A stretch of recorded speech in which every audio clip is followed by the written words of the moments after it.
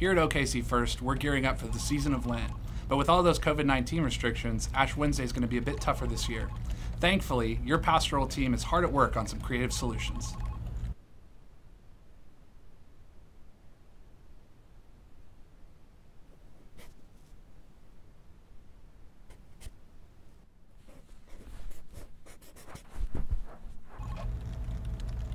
We'll have it figured out by